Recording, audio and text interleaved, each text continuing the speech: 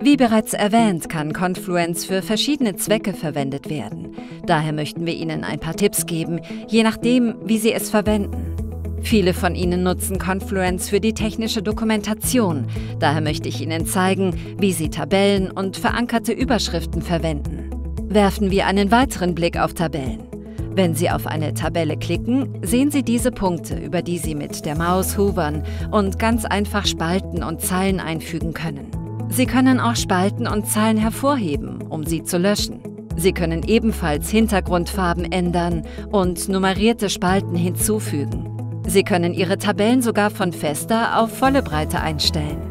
Wenn Sie nun jemandem Informationen senden möchten, die für Sie am relevantesten sind, sollten Sie verankerte Überschriften verwenden.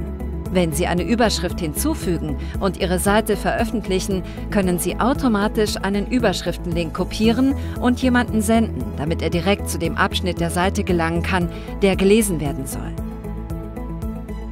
Eine der Möglichkeiten, wie wir Confluence bei Atlassian verwenden, ist zur Zusammenarbeit miteinander. Und natürlich können Sie dieselbe Seite gleichzeitig kollaborativ bearbeiten. Schau mal, Claire, wir sind zusammen hier. Außerdem können Sie Kommentare am unteren Rand der Personenseiten hinzufügen, sobald sie veröffentlicht wurden, und inline, indem Sie den Text auf der Seite hervorheben.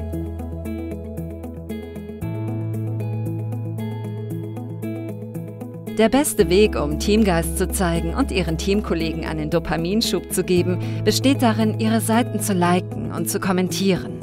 Und unsere Kommentarfunktionalität verwendet den gleichen Editor.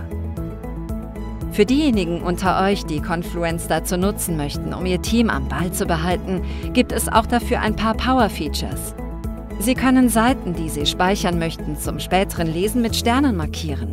Diese sind ein wenig wie ein Lesezeichen. Sie können mit Sternen versehene Seiten unter Ihrer Arbeit in der Navigation finden.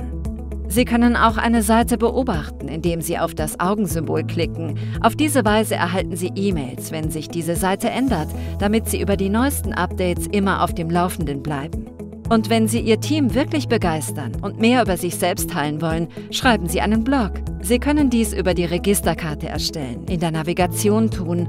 Und was an Blogs cool ist, ist, dass sie auch unter Ihrem Team oder persönlichen Bereich aufgeführt werden.